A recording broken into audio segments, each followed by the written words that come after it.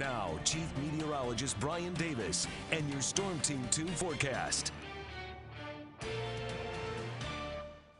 We expect temperatures in the 50s this evening, but dropping down to 50 at 9 o'clock and then 46 at 11 p.m. as the sky clears out. And that clear night means some chilly temperatures tonight, upper 30s, low 40s. You know, there might even be a few patches of frost some of those colder spots around the Miami Valley, some of those valley areas.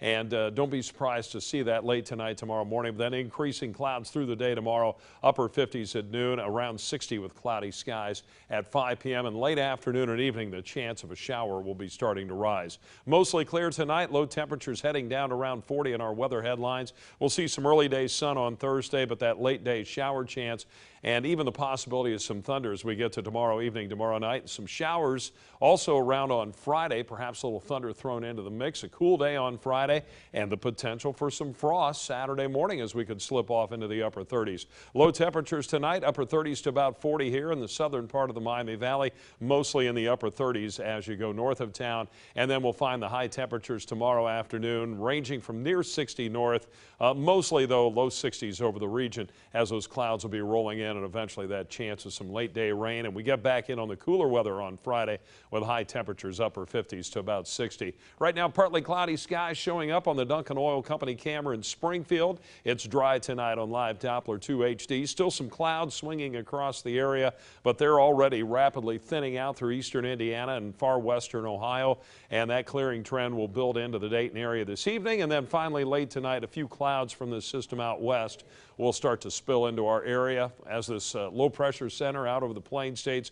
Cold front combination heads our way uh, late tomorrow, tomorrow night. We'll see that increased risk of some showers moving in. Currently in Dayton 57, a northwest wind at 16 miles per hour. 42% the relative humidity with that barometer on the rise. And our weather checkers tonight, Jeff Cador and Bell Center only at 54 degrees. Uh, Tom Wyckoff in Springfield 54, but the low steaders 59 in Jamestown. Barbara Richards 62 in Kettering. Jason Thompson Brookville 62, but David Wessler out in New Paris uh, in the upper 50s. You're seeing pretty much clear sky for a while tonight. Late tonight, some of those high level clouds, a few scattered ones moving in, and then increasing clouds through the day tomorrow. And then finally, as we get to late afternoon and toward the evening hours, the chance of some showers, perhaps even a thunderstorm moving into the area, and still some scattered showers expected around the area on Friday as another disturbance swings on through. Tonight, mostly clear and chilly. Overnight low around 40, northwest winds 10 to 15, dropping off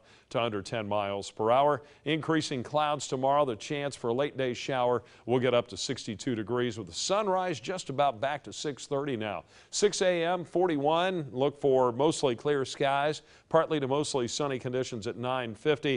And then we're 58 at noon, mostly cloudy at 3 p.m. 62, 58 at 6 o'clock with that chance of a shower. Still a chance of some showers mainly Friday afternoon. Morning low 40 with a high of 58. That chance of frost Saturday morning 38, high 62.